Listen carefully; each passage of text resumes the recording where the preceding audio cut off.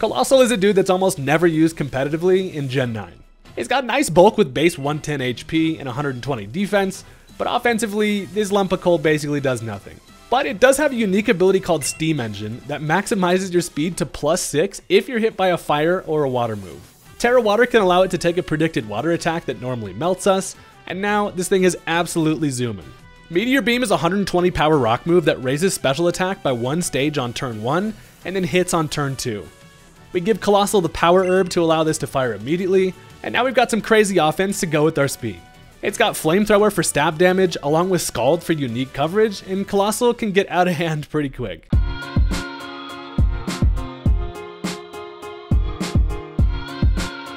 Alright, so look, for a while now, I've been wanting to mess around with Coalossal, mostly just because this dude still has Scald, which is kind of a hot commodity these days. But also, in my suggestions channel on the Discord, Dirty Mike minus the boys came at us with some heat, and today we're going to show the true power of our colossal friend. Hey, if you're into making generally bad Pokemon kinda good, you should probably hit that subscribe button if you haven't already. And without any further ado, let's go ahead and get into the battle. Alright, so my opponent is going to go ahead and lead off with the Cyclizar. This thing is a freaking motorcycle dragon. He's here to party, and he's here to chop his own tail off. Or at least, I imagine they probably go for a shed tail. That's kind of just what this fella does. Um, I do want to prioritize getting up the Stealth Rock, however, for a couple different reasons. But it turns out they actually just go straight for the U-turn. Try to grab a better matchup here. And I'm just trying to focus on these hazards because it's going to punish switch-ins like the Kilowattrel, things like the Skeledirge, but also it's actually going to break the Sturdy on the Donphan if I want to grab a one-hit KO, potentially with Coalossal later. But currently, we've got ourselves a Giraffe to deal with. So first of all, I don't really know what this thing wants to do. I've seen lately people running kind of Trick Room sets with this. It can be kind of scary, blocks priority, and just does some shenanigans. Turns out, this thing actually has Energy Ball, and that is absolutely going to obliterate my Swampert, who is in fact allergic to grass and also takes the balls right to the face. So uh, with that, I now have a revenge switch in, and obviously Scizor is kind of a good switch in here. It kind of it threatens with the prospect of like a Swords Dance, and also of course U-turn is just gonna do a whole lot. I figure U-turn is kind of my best bet here, just because I can get some huge damage and cover for a potential switch. But they actually stay in here, which is uh, unfortunate because they do live. However, I have myself an idea. Call it a Jimmy Neutron Brain Blast out here. I'm actually going to end up switching directly into Noivern because this thing comes in and as I take an attack here, it's actually going to activate my eject button because my goal is to get the Coalossal in here for free. So the button gets pressed, Noivern's like, see ya, and now I can bring in the Coalossal, his fat ass comes in without having to take any damage, which is nice because with the Coalossal here, we're trying to obviously bait a, uh, a Greninja switch in. So what I'm going to do here is just go for the Meteor Beam. They do stay in and just go for the Psychic. Uh, do in fact outspeed me because I am quite slow at the moment. And also, they get the special defense drop, which generally isn't that big of a deal. But this does allow me to go for the Meteor Beam. So I get the special attack boost, which is exactly what we're looking for. And also with that Power Herb, I can get the attack off right away, of course. Uh, the giraffe in the hoodie is not going to be living that with the red health, but uh, I mainly wanted to go for that just to get that special attack boost because we're going to need all the offensive help that we can get. And on the Revenge, they actually do bring in the Greninja. So this is exactly what we're looking for at this point because we do want this thing to go for a water move. So at this point, I can commit the Water Tera, and we are about to go full Water Bender on that ass. Going for the Water Tera allows me to guarantee that I live a water attack and more importantly, is going to get real hot and steamy. So we look ridiculous with the water coming out of our coals that were once on fire, um, but they do actually play right into it. They go for the liquidation here, going to transform even into even more of a water type. Uh, but of course, we take that nicely. And now it is time. We get the drastic speed boost. Talking about a plus six speed boost now makes us faster than everything they have. And I go for the Meteor Beam here because knowing that they were going to be faster initially, uh, hitting me with the Liquidation now makes me faster on this next turn. So it's basically like I get to fire off that Meteor Beam immediately. Uh, they do get an option to switch. However, they stay in and uh, we summon the power of a freaking meteor and just blast his ass. And that is definitely going to take care of it because now we also have plus two special attack and plus six speed. So we are in the exact spot we're looking to be, as now they decide to go into the Kilowattrel. So, of course, I am threatened by Electric at this point, and while Kilowattrel is extremely fast, plus 6 Coalossal gets up to 204 speed here, where a timid Kilowattrel with max speed is only at 194. So we're built to outspeed that thing, and we can finish it off with that power gem. So that is amazing. Now they decide to go into the Cyclizar. The only way this thing outspeeds me is if it's Scarf, which it potentially could be. However, we do just outspeed, power gem ass, and that does take care of the Cyclizar. So it's actually really fun seeing uh, big big boy over here outrunning some pretty fast threats. But now they decide, hey, Donphan's the kind of guy who can take a power gem, potentially. Psych, bitch, I have the Scald. I can go for the hot water. No sturdy for you. that is going to take care of it. And also, they are, in fact, not going to be having any of that nonsense as they do just straight up bail. The Scald is unexpected and we are here for it. But you already know I have a second match here for you because this thing is extremely satisfying to try to get it to work and it's just an all around good time. So what's actually interesting about this set is it's a whole lot easier to get Steam Engine to activate upon switching into a fire move, but a lot of the time you do need to go for that Tera Water uh, on the super effective water hits to try to at least get it to get going. So in this matchup here, it looks like the Samurott is going to be our best kind of uh, option for that. And let's go ahead and jump into it. So this time my opponent is going to go ahead and lead off with the Hungry Hippo. And I decided to lead off with Zapdos as we got a little bit of a team switch up here. And this is here to kind of get a Volt Switch action. However, of course, I'm not going to want to deal with the Sand Farting Hippo here as it does set up that Sand Stream. So at this point, I decided, you know what, I'm going to go right into the Exeggutor. because it's more than likely they just go right for the Stealth Rock turn one here. I can bring in the Exeggutor.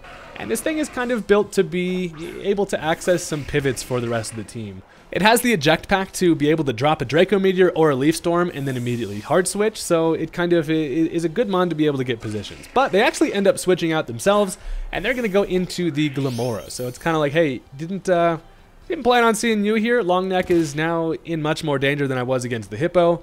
But now I figure it's more than likely they go right for the Stealth Rock here. They probably expect me to switch here, the Sludge Bomb kind of be obvious. Uh, but they actually end up going for the Mortal Spin. Kind of a good mid-ground play, as it does cover for a switch, poisons anything guaranteed. Uh, but luckily, I am at least able to drop my Draco Meteor here, not only potentially break the Focus Sash, but do a huge amount of damage, and Oh, Long Neck is actually like, hey, I'm actually late for a meeting. I'm to bail. So I get that eject pack, and now I get a nice little switch into whatever I would like here. So I'm thinking, you know what? I might actually just go Coalossal. While I am threatened by something like an Earth Power here, I generally feel like this wants to set up some hazards. That's kind of what this weird flower is here to do, set up the Stealth Rock. So I'm to go straight for the Meteor Beam, and it does pay off because they do straight up go for that Stealth Rock.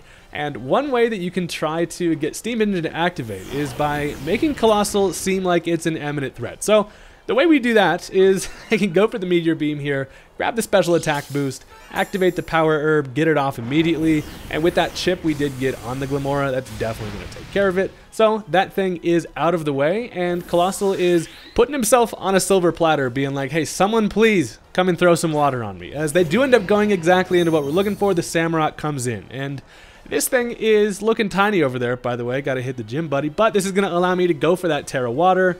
And it is kind of in my best interest just to go for another Meteor Beam. Because we can truly never have too much damn special attack out here. So we're going to bring out the Fountain. And this set is always a little bit of a gamble. A lot of the time people will expect the Steam Engine. But uh, in this situation here, it's just really kind of like their best option is to try to neutralize the threat of Coalossal here, and a Ceaseless Edge won't do it. So they do, in fact, go for the Razor Shell. We are able to obviously take it nicely.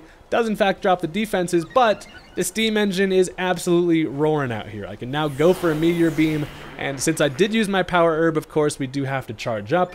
But now at plus 6 speed, we are in fact faster than everything barring potential Choice Scarfs, and something is going to have to switch in here and take a Meteor Beam unless they want to stay in. So they do in fact stay in, we connect on the Meteor Beam, which is amazing, and at plus 2, that is going to be enough to take care of the Samurott. So we are absolutely rolling. Once again, we are in the position we need for Coalossal to thrive. Unfortunately, though, we now do get hit by Sandstorm, losing our Rock type, and I do kind of need all the health that I can get, because there is some threats that can stop Coalossal here, but first, they actually decide to go into the Krookodile. As Krookodile comes in, they're probably not straight up expecting the Scald. I can go for the Tera boosted plus 2 special attack, uh, Scald here, it is going to be able to take care of the Krookodile.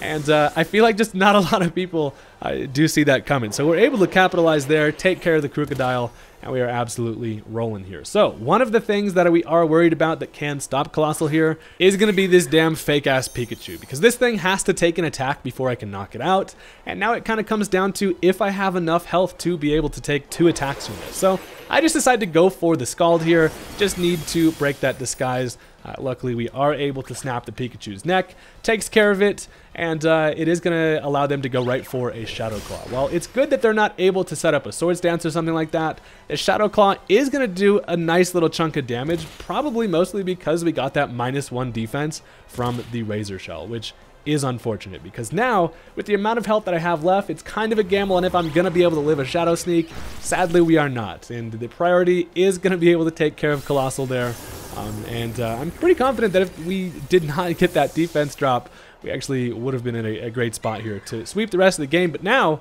we've got our work cut out for us. While we did take care of some threats, we now have to uh, figure out a way around. And luckily, at least, we were able to get rid of the disguise.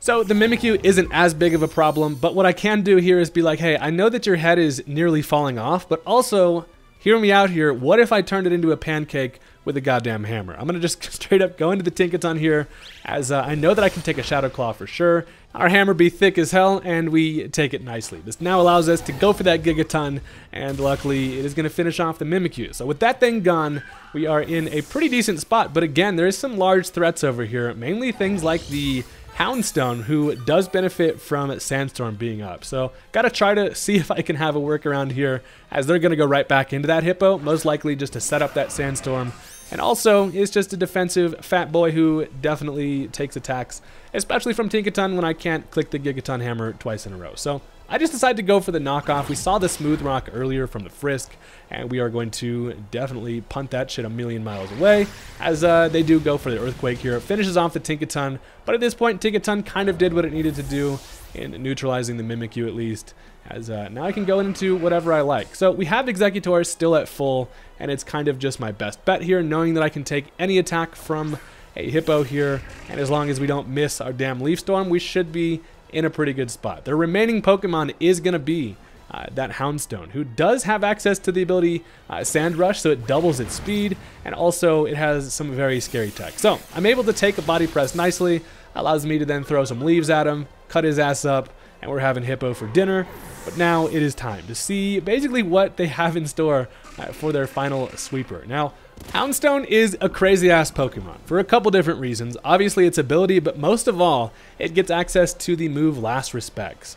That is a 50 power ghost move that gets plus 50 power for each time a party member is fainted, which I've killed five of them, so I am in danger of uh, turning out to be as dead as this dog is, and uh, they are actually going to go ahead and commit the Tera here. So with this thing Sand Rush, it is going to be super quick, and uh, I am scared. It goes for the Tera Ghost, make this thing even more spooky, and for sure is going to go for that last respects and finish me off. So it's time to pay my respects to the Exeggutor, because this thing absolutely gets sent to the damn Shadow Realm with that last respects, um, and down we go. So the one good thing about this is that a lot of the time Houndstone is going to be either like a choice band set, a choice scarf set. A lot of the time it's going to be choice. So what I'm banking on is the fact that they now are locked into that and actually cannot hit Slaking. And even if they aren't locked in, uh, it's more than likely that uh, I can live any other attack that they can throw at me. So I decide to go for the knockoff here. Turns out they are locked into that last respects. Does not affect me because Slaking doesn't give a shit.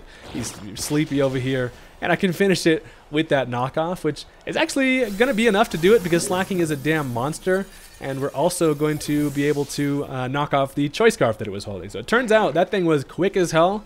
And without a normal type, I was in extreme danger. But that's going to be the end of the match and uh, that was a super fun one. Very cool seeing sandstorm teams like that. It's not that often that you see that kind of kind of stuff running around. But today we were able to show that Coalossal is in fact still a massive threat, and it's also pretty fun to use. Listen, if you guys enjoyed, make sure to leave a like on the video. It really does support the channel, and uh, I will catch you next time. Peace out.